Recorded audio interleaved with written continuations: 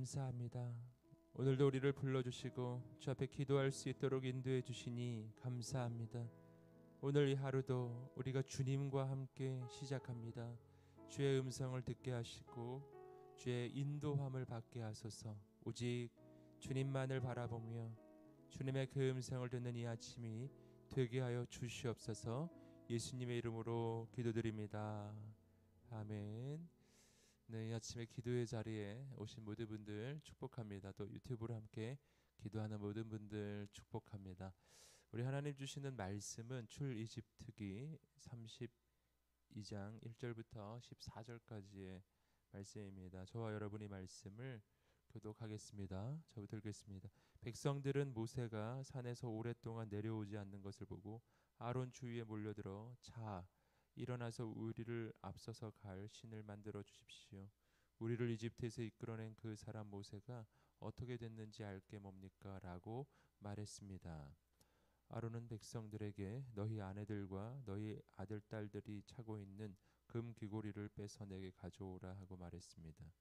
그러자 모든 백성들은 귀고리를 빼다가 아론에게 갖다 주었습니다. 아론은 백성들이 가져온 것으로 송아지 모양의 틀에 붓고 연장으로 다듬어 우상을 만들었습니다. 그러자 그들은 이스라엘아 이것은 너희를 이집트에서 이끌어낸 너희 신이다라고 말했습니다. 아론이 이것을 보고 송아지상 앞에 제단을 쌓고는 내일은 여호와께 드리는 경출일이다라고 선언했습니다. 이튿날 백성들은 일찍 일어나 번제를 드리고 화목제를 바쳤습니다. 그러고는 앉아서 먹고 마시며 일어나서 놀았습니다. 그때 여호와께서 모세에게 말씀하셨습니다. 너는 내려가거라.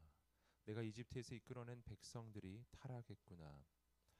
그들은 내가 그들에게 한 명령을 그토록 빨리 저버리고 스스로 송아지 모양의 틀에 우상을 부어 만들고는 경배하고 제물을 바치면서 이스라엘아 이것은 너희를 이집트에서 이끌어낸 신이다라고 했다. 여호와께서 모세에게 말씀하셨습니다. 내가 이 백성들을 보니 참으로 목이 곧은 백성들이다. 그러니 너는 이제 나를 두고 가거라. 저들 때문에 내 진노가 부글부글 끓는구나. 내가 저들을 진멸하지 않을 수가 없다. 그러고 나서야 내가 너를 큰 민족으로 만들 것이다. 그러나 모세는 그 하나님 여호와께 빌며 말했습니다. 여호와여, 주께서 왜 주의 백성들 때문에 노여워하십니까? 그들은 주께서 큰 능력과 강한 손으로 이집트에서 이끌어내신 사람들이 아닙니까? 왜 이집트 사람들이 그가 그들을 산에서 죽이고 지면에서 쓸어버릴 생각으로 끌고 나갔구나 하게 하십니까? 주의 무서운 진노를 돌이키시고 주의 백성들에게 재앙을 내리지 말아 주십시오. 주의 종 아브라함과 이삭과 이스라엘을 기억해 주십시오. 주께서 친히 주를 두고 그들에게 내가 내 자손을 하늘의 별같이 많게 하고 내가 그들에게 약속한 이 모든 땅을 내 자손에게 줄 것이니 이것이 그들의 영원한 기업이 될 것이다 라고 맹세하시지 않으셨습니까? 그러자 여호와께서 마음을 누그러뜨리시고 그 백성들에게 재앙을 내리려던 마음을 접으셨습니다. 예, 오늘 말씀은 하나님께서 모세에게 40일 동안 하나님의 그 율법을 그 신의 산 위에서 알려주시고 아, 그뿐만 아니라 앞에서 우리가 쭉 보셨던 것처럼 성막을 만드는 방법 이러한 것들을 알려주시는 그 동안 아, 그산 아래에 있었던 이스라엘 백성들이 무엇을 하였는지를 보여주는 말씀입니다. 우리 함께 1절 말씀 다시 읽어보겠습니다. 시작.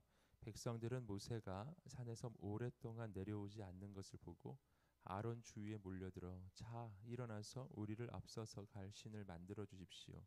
우리를 이집트에서 이끌어낸 그 사람 모세가 어떻게 됐는지 알게 뭡니까?라고 말했습니다. 자 그동안 이스라엘 백성들이 하나님 앞에서 잘못된 길을 갑니다. 어, 그들을 이끌어낸 그 하나님을 저버리고 지금 우상을 지금 만들고 있는 장면인데 이 이스라엘 백성들이 어, 모세가 없는 동안 아론에게 몰려들어서 이렇게 말을 하는 거죠.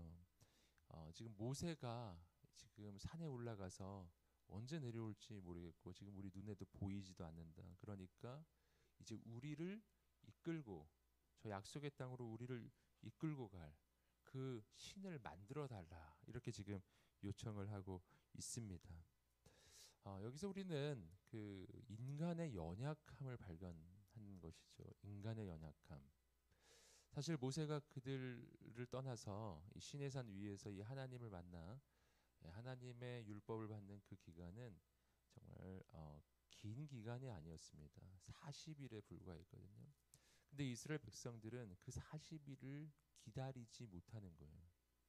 딱, 딱 40일 모세가 눈에 보이지 않았는데 그 사이에 하나님을 배신하고 어, 그리고 어, 우상 숭배를 하기 시작하는 것입니다. 근데 그 우상 숭배를 할때 어, 이들이 요청했던 게 뭐였냐면은 모세가 눈에 보이지 않으니까 눈에 보이는 신을 만들어 달라는 거였어요. 눈에 보이는 신이요.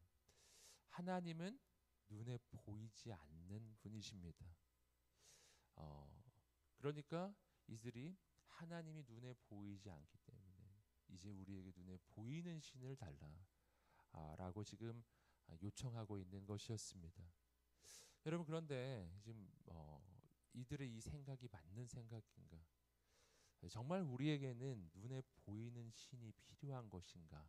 라는 우리가 이 질문을 해볼 수가 있는데 여러분 그렇지 않다라는 것이 어, 답입니다. 그렇지 않다. 오늘 우리가 진짜 섬겨야 할 신은 눈에 보이는 신이겠는가 아니면 눈에 보이지 않는 신이겠는가 하는 것이죠. 여러분 하나님이 눈에 보이지 않기 때문에 이 이스라엘 백성들은 불안해합니다. 하나님이 눈에 보이지 않으니까 이들은 어, 하나님에 대해서 확신하지 못하는 거예요. 그리고 눈에 보이는 신이 확실하다고 생각하는 것입니다. 하지만 이들은 정말 잘못된 생각을 하는 것이었습니다. 하나님은 눈에 보이지 않기 때문에 불확실한 분이 아니라 하나님은 우리의 눈으로 볼 수 없을 만큼 그렇게 크고 위대하신 분이시라는 거예요. 눈에 보이는 것이 확실한 것이 아니고 눈에 보이지 않기 때문에 정말 크신 분이시다 라는 겁니다. 뭐 예를 들어서 이렇게 한번 말해 볼 수가 있는데요. 여러분 어, 우주를 여러분 보신 적이 있으세요? 우리가 그 이제는 과학 기술이 발전해서 우주가 얼마나 큰지를 우리는 알고 있습니다. 그, 그 광활하고 드넓은 그 우주 가운데서 이 지구라고 하는 행성이 얼마나 작은가 하는 거 여러분 아시죠? 우주를 바라보면 정말 어, 끝없이 그 끝을 알 수 없을 만큼 그렇게 크고 넓습니다. 이 우주 안에 있는 이 별들의 숫자는 정말 헤아릴 수 없을 만큼 인간이 스스로 다 찾아낼 수도 없을 만큼 그렇게 많고 실은 밤하늘에 우리가 볼 수 있는 그 별이라고 하는 것은 그 수많은 별들 가운데 아주 일부에 불과하고 내 육안으로 확인할 수 있는 이 우주의 넓이라고 하는 것은 그 전체 우주의 그 사이즈에 비해서는 너무나 작은 것이잖아요. 그러니까 여러분 우리는 우주를 본다고 생각하지만 실은 보고 있는 게 아닌 거예요. 너무 크면 인간의 눈으로 볼 수가 없어요. 그내 눈으로 보이지 않는다고 해서 없는 게 아닌 거예요. 또 반대로 아주 작은 미시 세계가 있잖아요. 어, 정말 어, 그 현미경으로 확대하고 확대하고 확대해서 들어가면 우리 이, 이 모든 물질들은 분자와 원자로 이루어지지 않습니까? 그러한 원자의 세계 보이지 않습니다. 우리가 지금 보고 있다고 생각하지만 실은 우리 눈에 볼 수 없는 것들이에요. 하지만 볼 수 없지만 없는 게 아니에요. 있는데 못 보는 것입니다. 여러분 인간의 이 시야라고 하는 것은 얼마나 한계적인가? 인간의 눈으로 볼 수 있다는 것은요. 기껏해야 어, 빛의 그, 그 스펙트럼 가운데서 가시광선의 영역만 볼 수 있을 뿐이에요. 우리는 적외선의 영역이나 자외선의 영역이라든가 어, 그러한 영역은 우리의 눈으로 볼 수도 없습니다. 여러분 그러니까 내 눈으로 볼 수 있어야 확실하다고 생각하는 게 얼마나 이 역설적이게도 불확실한 생각인가 하는 것입니다. 여러분 광대하고 크고 넓은 것은 실은 보이지 않는 것이고 그리고 너무나 작고 세밀한 그러한 것들도 우리 눈으로 볼 수가 없는 거예요. 여러분 하나님은 진짜 내가 믿을 수 있는 하나님 정말 참신이시라면 이 한계적인 내 눈에 보이는 존재가 진짜 신일 수 있을까요? 하는 거예요. 내 눈에 보이는 신이 어떻게 진짜겠냐? 나의 이 한계적인 이 시야 속에 갇혀 있는 신이 어떻게 진짜 신이겠냐는 거죠. 진짜 신은 나의 시야와 나의 이 눈으로 볼 수 있는 한계 그 너머에 계신 분임에 틀림없어요. 우주보다 크신 분을 내가 어떻게 볼 수 있겠냐고요. 여러분 그런데 이스라엘 백성들은 어리석게도 그 하나님을 저버리고 눈에 보이는 신을 만들어 달라고 이야기해요. 여러분 이것이 오늘 우리가 범하고 있는 잘못이기도 합니다. 오늘 이 시대에도 우리는 눈에 보이지 않는 하나님을 불안해합니다. 그래서 눈에 보이는 신을 찾아요. 우리가 지금 눈에 보이는 신으로 하나님 대신 구하는 것들이 돈, 명예, 권력, 사람 이런 것들입니다. 눈에 보이지 않는다고 해서 불확실해 하는 거예요. 어, 그러나 오늘 이 아침에 우리가 확신하게 되기를 축복합니다. 하나님은 눈에 보이지 않지만 눈에 보이는 것 모든 것을 통치하시고 다스리시는 하나님이십니다. 여러분 눈에 보이지 않지만 온 우주의 주인이시고 눈에 보이지 않지만 역사의 주관자이신 분이십니다. 그분은 눈에 보이지 않지만 안 계신 곳이 없어요. 마치 공기가 눈에 보이지 않지만 이 공간에 충만해 있는 것처럼요. 여러분 내 눈에 보이지 않, 않는다고 해서 불확실한 것이 아니라 내 눈에 보이지 않기 때문에 내가 있는 곳 어느 곳에나 나와 함께 계신 바로 그분이 하나님이신 줄 믿습니다. 여러분 오늘 우리 가운데 그 하나님을 향한 확신이 있게 되기를 축복합니다. 여러분 하나님께서는 그 십계명 가운데 나 외에는 다른 신을 내게 두지 말라라고 이야기하셨고 그리고 제 2계명에서 하나님께서는 오늘 우리에게 이 하나님 하나님의 형상을 만들지 말라고 이야기하셨어요. 왜냐하면 어떤 형상을 만들든지 하나님은 그 형상에 제한되는 분이 아니기 때문에 내가 어떤 형상을 만들든지 간에 그것은 하나님의 한계를 짓는 거예요. 하나님께서 형상을 만들지 말라고 하는 것은 하나님은 이 땅에 존재하는 피조물의 그 어떠한 형상으로도 표현할 수 없는 무한하신 분이시기 때문에 여러분 오늘 어, 이 아침에 그 하나님을 향한 확신이 있게 되기를 주님 이름으로 축복합니다. 어, 이스라엘 백성들은 그 하나님을 확신하지 못해요. 그리고 눈에 보이는 것을 구하는데 그때 이 민족의 또 한 명의 지도자였던 아론이 아주 심각한 잘못을 저지릅니다. 우리 2절부터 5절까지 말씀 읽어보겠습니다. 시작.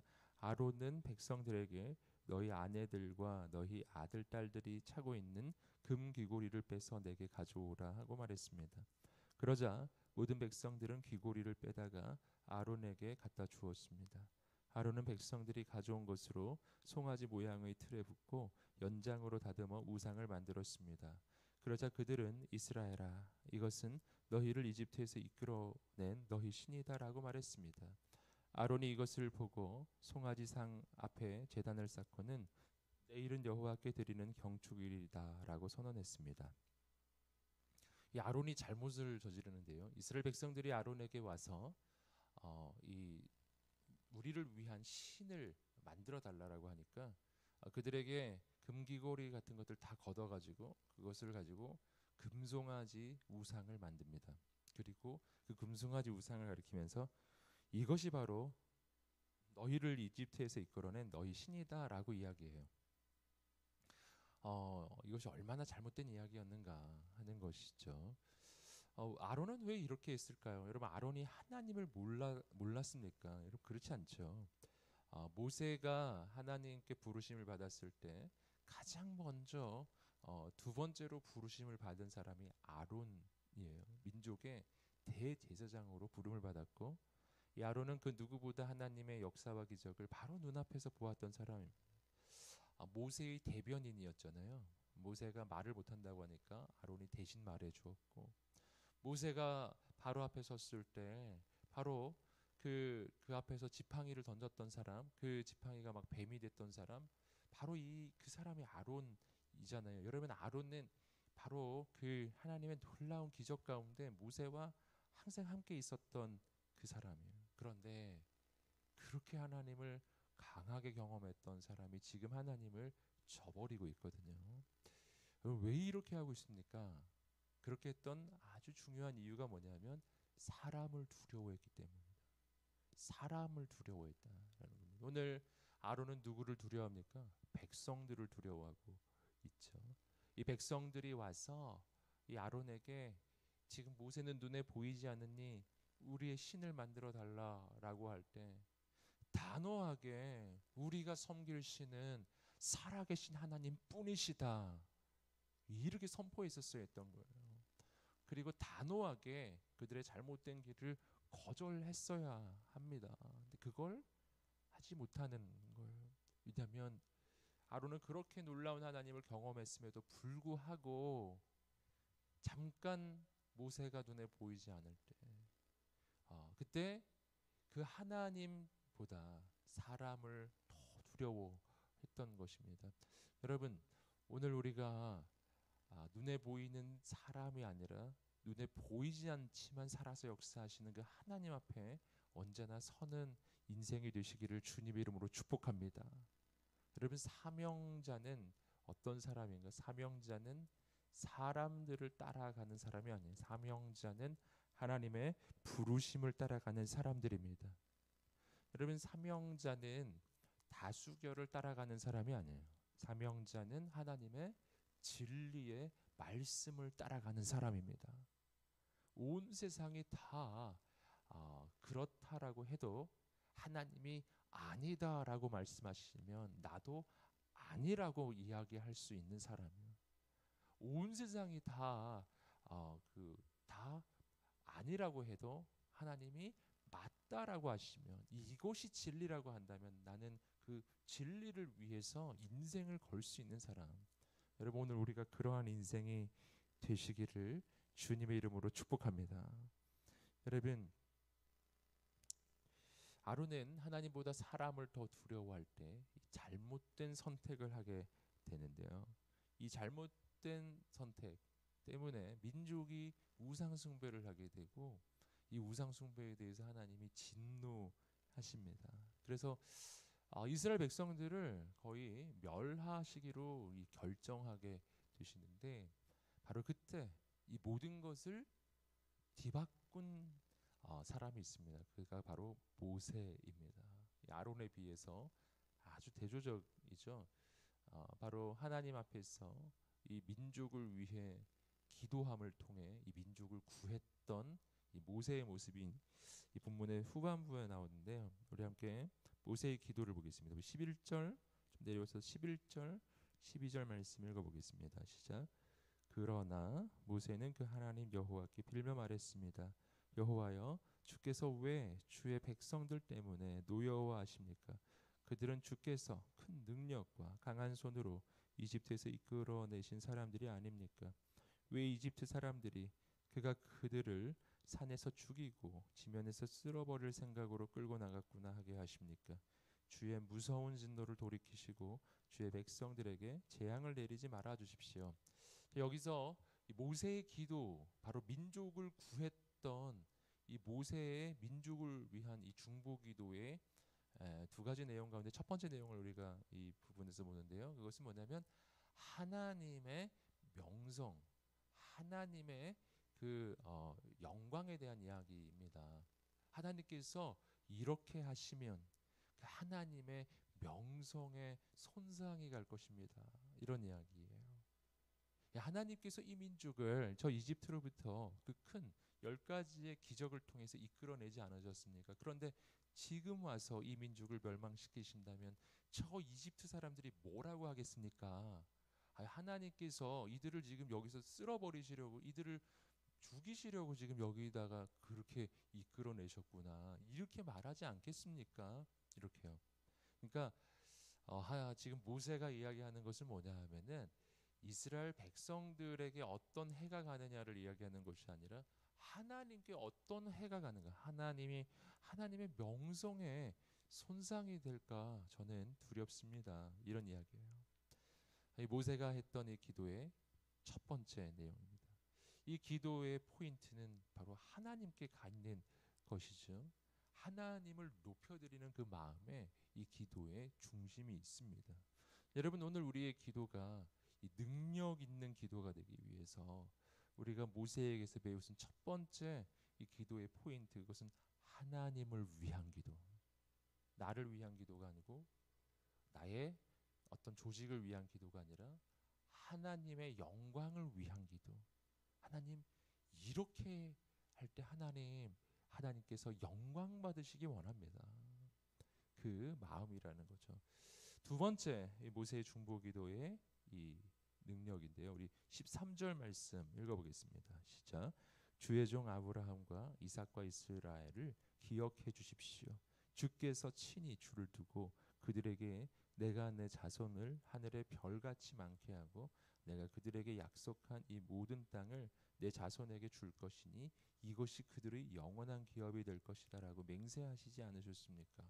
자, 두 번째 내용은 뭐냐면 하나님의 약속에 근거한 기도입니다. 하나님의 약속에 근거한 기도. 여기에 능력이 생깁니다. 이 성경을 보시면은 우리 믿음의 조상들이 하나님의 능력을 경험하는 그 기도에 어, 거의 대부분 공통적으로 등장하는 것입니다. 그게 약속이거든요. 믿음의 사람, 하나님의 기적을 경험하는 사람의 공통된 특징이 하나님의 언약을 기억한다라는 겁니다. 그리고 그것에 기도의 기초가 있어요. 여러분, 우리의 기도의 근거는 인간의 상식이 아니다. 인간의 어떤 의견이 아니다라는 것입니다. 여러분, 우리의 기도의 가장 강력한 근거는 하나님 그분의 신실하심이에요. 그분은 약속을 지키시는 분, 언약을 반드시 지키시는 분이시기 때문에 그 언약의 근거에서 기도할 때 그 기도에는 하나님의 능력이 임한다라는 것이죠. 하나님 이렇게 약속하지 않으셨습니까? 아브라함과 이삭과 그리고 야곱을 통해서 하나님 이 민족을 향한 하나님의 약속을 주시지 않으셨습니까? 바로 이 민족을 통해서 하나님은 저 밤하늘의 별과 같이 바다의 모래알 같이 그러한 민족을 세워 주시고 그리고 약속의 땅에 들어가 하나님의 나라를 이루는 그 약속이 있지 않, 않습니까? 이거죠. 여러분 하나님은 약속을 지키십니다. 오늘 우리가 이 아침에도 기도할 때 마찬가지다 거죠. 이 아침에 우리가 붙잡아야 하는 것이 있습니다. 그것은 사람의 의견이 아니에요. 내 생각이 아닙니다. 하나님의 약속이에요. 그 하나님의 약속, 예수 그리스도 안에서 우리에게 주어지는 약속, 예수 안에서 우리에게 주어지는 약속이 뭐죠? 성경 전체입니다. 예수 그리스도 안에서 내가 예수님 믿고 구원받고 하나님의 자녀가 되었을 때 이 성경 전체 인간을 향해 주시는 모든 하나님의 약속이 예수님 안에서 우리 인생에 이루어지는 약속이 되는 줄 믿습니다. 그래서 우리가 그 약속 붙잡고 하나님 앞에 기도하며 나아가는 것입니다. 또 뭐를 위해서요? 하나님의 영광을 위해서요. 나의 명성을 위해서가 아니라 하나님의 명성을 위해서요. 나의 영광을 위해서가 아니라 하나님의 영광을 위해서 내가 하나님 앞에 구하며 기도하며 나갈 때 하나님께서 그 기도를 들으신다라는 것이죠. 그래서 하나님은 이 기도의 끝에 그 하나님의 뜻을 돌이키셔서 이 민족을 멸망시키지 않으시고 하나님께서는 이 모세 한 사람의 중보 기도를 통해서 이스라엘 민족을 다시 일으키셔서 약속의 땅까지 이끌고 가신 것입니다.